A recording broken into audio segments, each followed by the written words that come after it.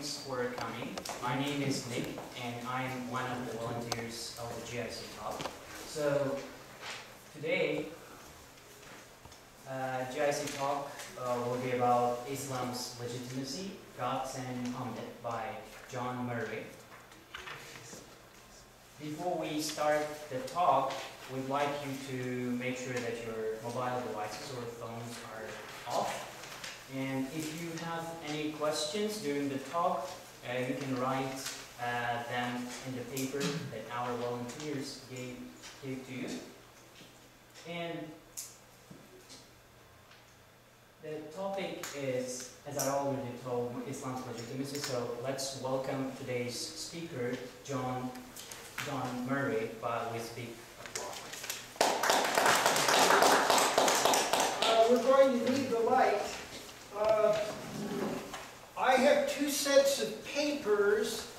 One is, uh, one set is the papers I will be giving you, and the other one is the set of steps that I want to use. So sitting here is going to be probably much easier than using a lectern. So I hope that's okay. Uh, Okay, well, uh, everybody has the two pages of the handout, right? Well, it's one sheet. Okay, uh, well, also from me, welcome, thank you for coming. Today, using mainly the Bible, I will attempt to prove to you that Islam, the Muslim faith, came from God and that uh, certainly its original form deserves your full respect. Uh, I've already told you about this. I don't think anybody else has arrived. Uh, I hope that uh, everyone has the correct number of sliplets. Let means small, like a booklet.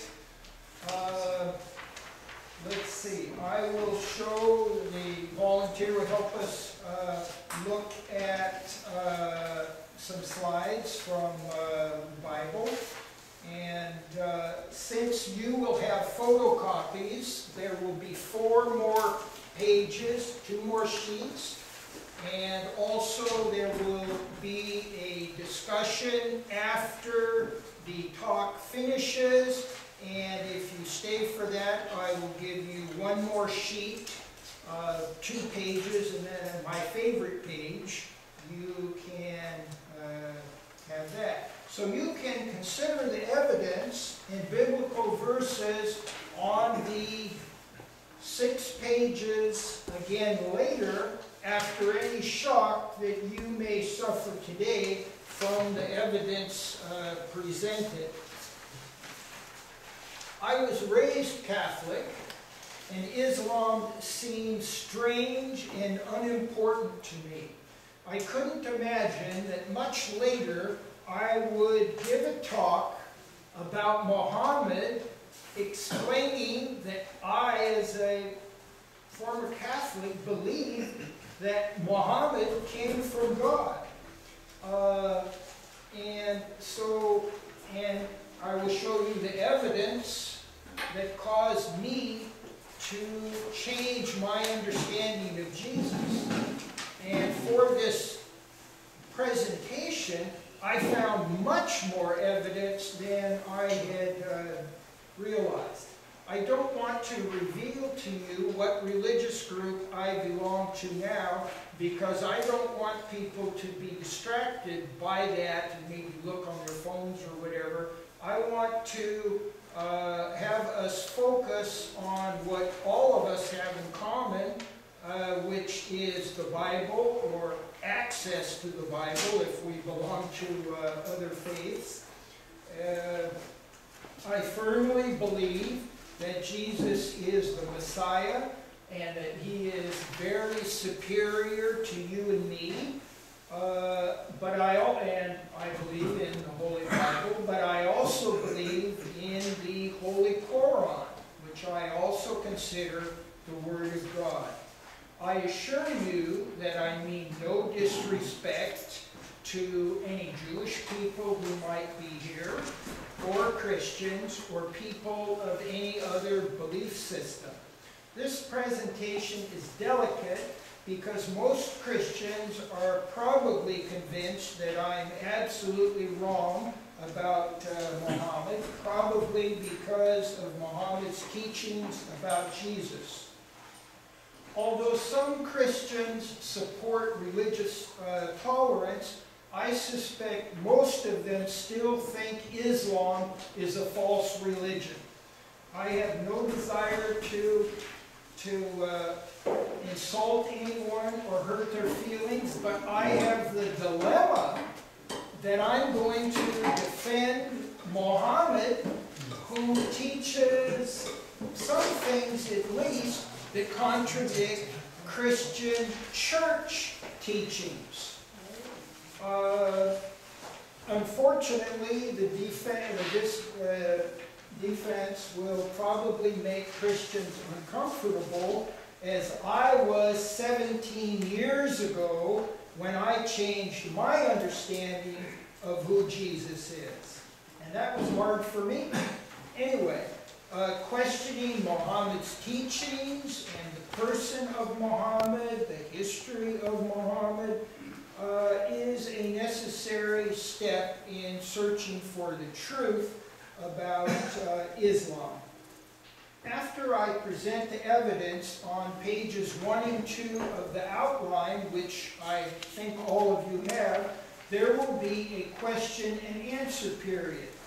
But the question and answer period will be uh, carefully divided into two parts because I want you to especially consider the evidence on part on page two, uh, which is the evidence from the Bible that supports uh, Islam. And I think it's pretty strong evidence.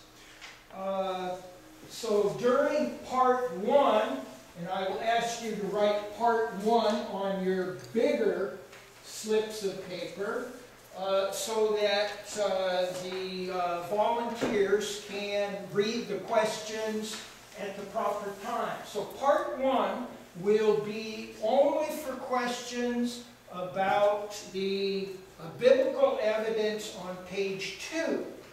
Part three, uh, part, I'm sorry, two, three, right? Part two, the part two questions will be questions about anything about Muhammad, Muhammad's teachings, uh, also the claims that I have put on page one of your uh, handout. There won't be a lot of time left for questions. Uh, so I will have four more pages of handouts for you, two sheets, and people who stay for discussion, they will get another handout, which is my favorite handout. But anyway, okay, let's go to page one of the outline here. Gosh, maybe I will be able to do this from the lectern. A little bit in the dark here. Uh, more friendly for me to stand here. Okay, so let's start on page one here. Uh, so, uh, I, number uh, Roman numeral 1a. How could a Christian conclude that Muhammad, that God sent Muhammad to us? Well, frankly, it's difficult, right? Uh, B. But here's a similar situation. How could Jews pass the spiritual test and accept Jesus? Investigation and search for the truth is necessary, but problematic. Jews couldn't rely on the prophecies because some of them were fulfilled symbolically. And that's discussed later in a uh, section that you haven't received yet. The important thing about Jesus for recognizing him uh, was Jesus' life, his teachings, his suffering that he didn't have to uh, undergo, and his knowledge uh, without having studied. Now, then there was the problem with their uh, religious leaders, because uh, Annas and Caiaphas wanted to kill the false Messiah, the real Messiah. And then there's the conventional wisdom issue. The Messiah would defeat the Romans. Well, that didn't happen. Uh, next, to be a Jew or to belong to any other religion that came before Christianity, it's a blessing to uh, recognize Jesus. I think it's also a blessing to recognize Buddha and some other individuals from the past, but I won't really get into that. Uh, so uh, number two here, God chooses us to accept his plans, and it's not automatic, even if we are very devout and devoted to God. Uh, Matthew uh, tells us, for many are called, used to say called, but my Bible says invited. For many are invited, but few are chosen. And it is a spiritual test we can't expect God to automatically give us information about parts of his plan that came after Jesus. And you know about Saul, who became Paul, who was knocked off a horse. That's not likely to happen to you, uh, you or me. Prayer is a factor. Ask God to help you discern the truth, to find out the truth. That's something that Jews should do to see, to recognize Jesus, Jesus and everybody else. And in summary, it is the personal responsibility of each of us to seek the truth. Now, this is my appeal to you to search for the truth in what I present to you both today and maybe in a future presentation. If the evidence presented is good enough, you will have a reason to re-examine your beliefs, to reject an unpleasant conclusion in a way that is spiritually and intellectually honest, you must fairly consider the evidence. This search for truth is a spiritual test for all Jews, Buddhists, Christians, Muslims, Zoroastrians, Hindus, and atheists.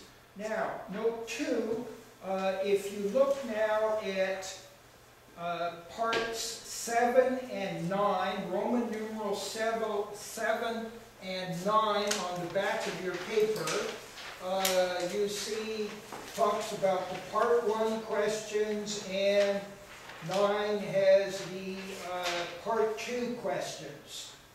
So I've already mentioned my request that you write part 1 or part 2. Let's go to note 3 at uh, Roman numeral 8, before the part 2 questions, I will ask most Christians for secret answers. Uh, so that's going to be the C plus and the C minus people. Uh, does the biblical evidence on page 2, sections 3 to 5, seem valid? Uh, the biblical evidence. Before discussing any objections to Islam or Muhammad's teachings. Now we go to, uh, next, because I want to ask you to consider the evidence seriously and not just be impatient to tell me why I am wrong for believing in uh, Muhammad. Now let's look at the non-biblical evidence to try to prepare us to respect the biblical evidence.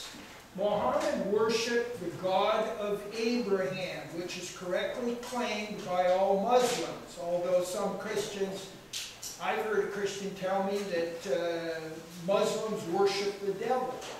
Well, that's not real good. Uh, B, Jesus is Virgin Mary uh, excuse me, Virgin Mother Mary is the only woman's name in, in the Quran. I'm going to skip the next part to save time. But I will be telling you and showing you with the evidence that Muhammad was a visionary feminist. I was very surprised when I investigated that. Now, see, uh, Muhammad taught that the sun stays in one place. It doesn't revolve around the earth. and people thought that was crazy. Well, this is knowledge he got from God. God told him what to dictate. Uh, and after Muhammad died, and uh, Muslims tried to convert people, which they didn't do with the sword, that's the lie told about Muhammad. Uh, violations of that were very rare. Uh, the Muslims who were trying to convert people were embarrassed by uh, Muhammad's statement in the Quran that the sun stays in one place.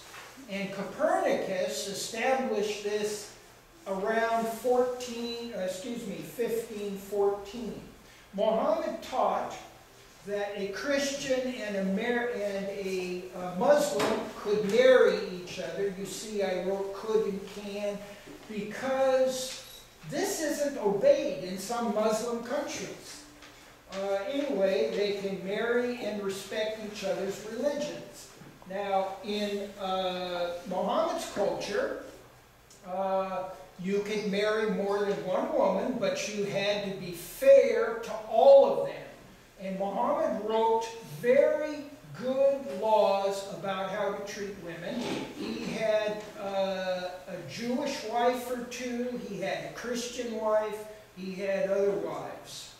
Okay, now, we let, uh, oh yeah, conversion by the sword is not allowed by Muhammad.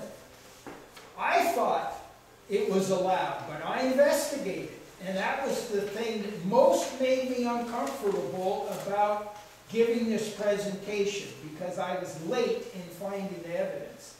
But this is confirmed by a Christian historian. Uh, now, let's go to slide two, please, and I think I have to get out of the way. Maybe I'll come over here. Okay, let there be no compulsion in religion. This is what uh, taught. And if we go to slide three, please. What? Wilt thou compel to become believers? No soul can believe but by the permission of God. So this reminds us of Matthew 22, where he says, For many are invited, but few are chosen. Now, number two here, from the 8th to 15th centuries, Muslims, Jews, and Christians lived in harmony, but the Muslims were in control. They didn't force people to become Christians. And you will see evidence that the same thing happened in, in uh, India later. Now, there was a small poll tax. Everybody had to pay a certain amount of money, which wasn't a lot. And uh, Jews and Christians were under Muhammad's protection, and they did not have to go into the military. Now, the sword was used a lot to conquer territory, but people were given, given freedom of religion. Okay, now we go to the back of uh, that page, and uh, let's uh, look at slide, I- well, I don't, maybe I don't have, how about the next slide? Maybe, okay, yes, I do have that. Okay, uh, Thessalonians, do not treat prophecies with contempt. Test everything, hold on to the good. Now, I think the good is the true things, not things that are necessarily pleasant. Okay, let's continue with the next slide. Uh, Then God said, what? Slide uh, six? Is this slide six? Okay, uh, I think there's a slide before this. Uh, no, go up, up, lower numbers. Uh, let me see, I hope the slides, uh, uh, oh my gosh. I must have somehow shifted it. Oh my gosh. Okay, well. I'll find out later what mistake I made. But anyway, uh, in, in Genesis, it, it says God's covenant is with Isaac, the son of Abraham.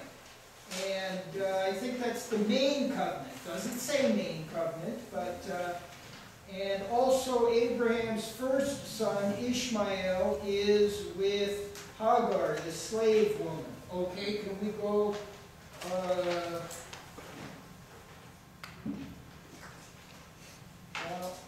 I'm surprised by this. But anyway, here somewhere, then God said, Yes, but your wife will bear you a son, and you will call him Isaac.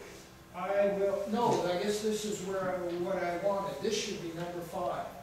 Uh, but your wife will bear you a son, and you will call him Isaac. I will establish my covenant with him as an everlasting covenant for his descendants after him. Let's please go to the next one. I apologize to you also for my mistake. And as for Ishmael, I have heard you. Uh, this is Moses writing, talking to God, uh, talking to Abraham. I have heard you, I will surely bless him, I will make him fruitful, and will greatly increase his numbers. He will be the father of twelve rulers, and I will make him into a great nation. Please continue with the next slide.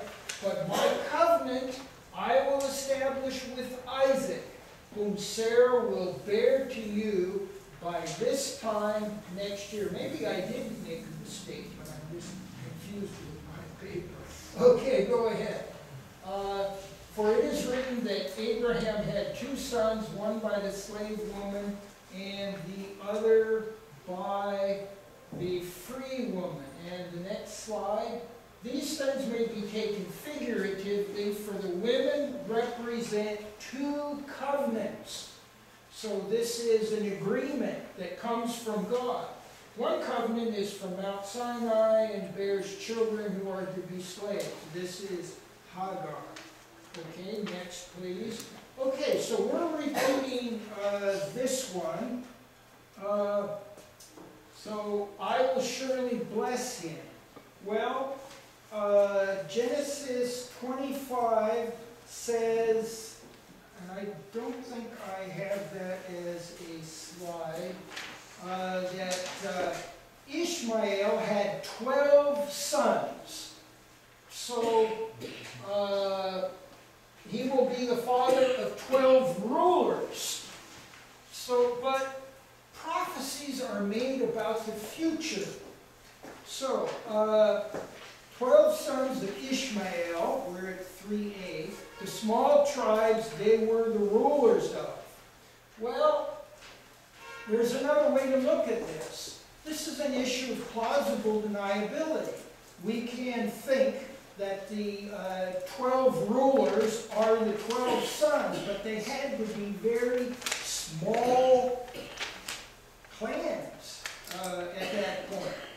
So uh, where I write, uh, uh, so I say, well, uh, let's it makes to assume that the 12 sons of Ishmael are the 12 rulers of Genesis. Uh, and disregard the 12 imams of B that is coming up. Well, let's look, uh, well, let's stay where we are. 12 sons of Ishmael. But first, fruitful.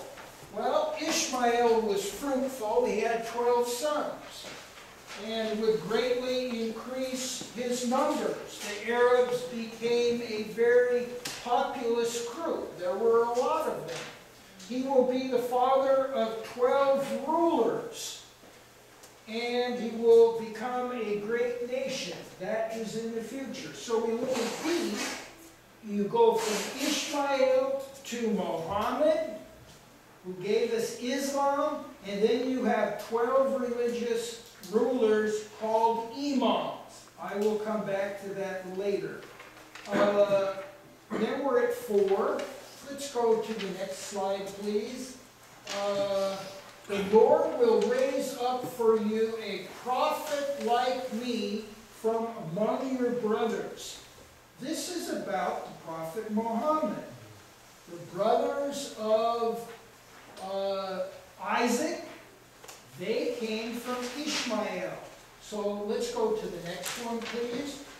The promises were spoken to Abraham and to his seed.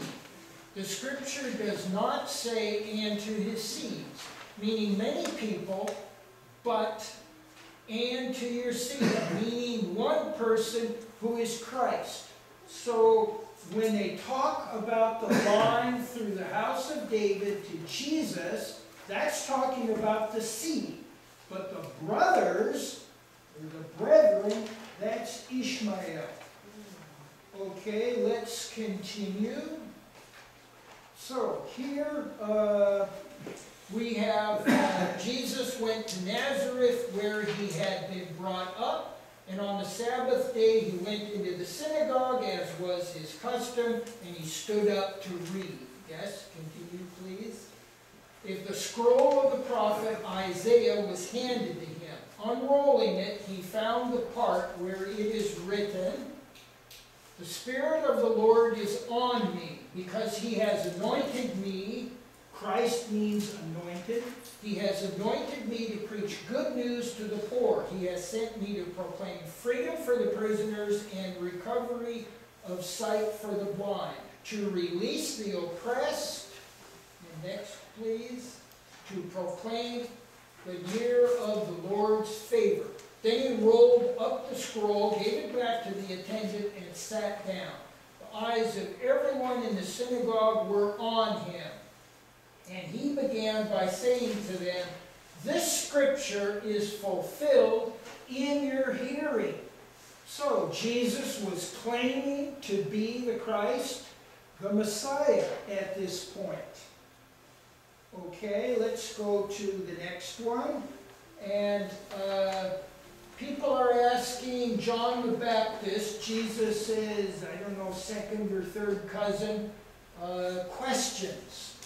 Now, this was John's testimony when the laws of the Jews of Jerusalem sent priests and Levites to ask him who he was. He did not fail to confess, but revealed freely, I am not the Christ. They asked him, then who are you? Are you Elijah? He said, I am not. Are you the prophet? That's Muhammad. Answered, no. Notice that prophet has a big P. Okay. Uh, Muhammad, who descended from Ishmael, did claim to be the prophet. Jesus didn't. He only claimed to, uh, to be the Messiah. And the Jews knew that Jesus and the prophet could be different people. Okay, let's uh, continue. A great and wondrous sign appeared in heaven. A woman clothed with the sun, with the moon under her feet, and a crown of twelve stars on her head. Now, uh, A here, uh, the sun is the symbol of Shiite Iran. Image of the sun behind the lion on old Iranian flags. And let's do the next one. There's another uh, flag. So, the 12 stars are the, uh, the 12 rulers or imams of Genesis 17:20. Now, if you reject this interpretation of the 12 stars, try to find another explanation and remember especially the number 12, as well as the sun and the moon. And remember that this is a prophecy about a time after Revelation was written. What other people were there in religious history about Revelation? The twelve apostles had already, did I misspeak, after Revelation uh, was written. Uh, the twelve apostles had already been chosen. And what, so what is the connection to the sun and the moon of twelve, I say, people?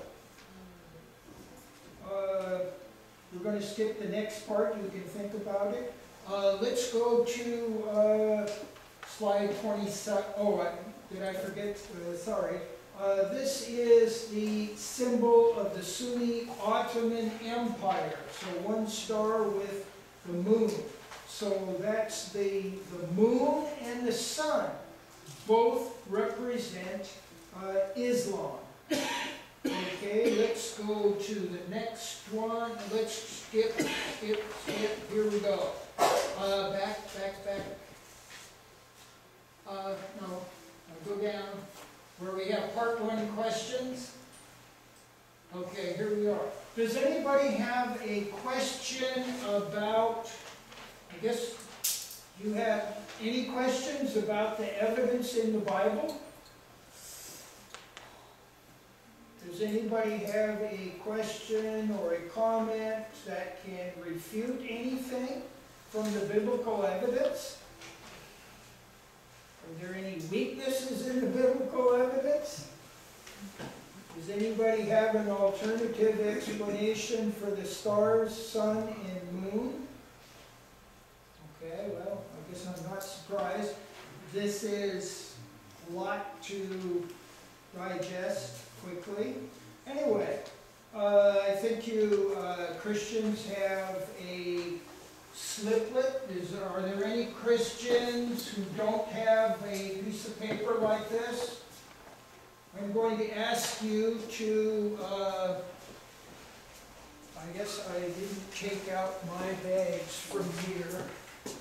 I'm going to ask you to, the Christians who believe in the Trinity and not to put, to write number one on your very small slip of paper, and then C plus if you believe in the Trinity, C minus if you don't believe in the Trinity, and to write yes or no. Does the evidence look good so far? Does it look plausible? I'm not asking you to say that you believe in it, but does it look good? Okay? Can we, does anybody have a slip ready to put in the bag? Yes? Okay. Thank you. Thank you.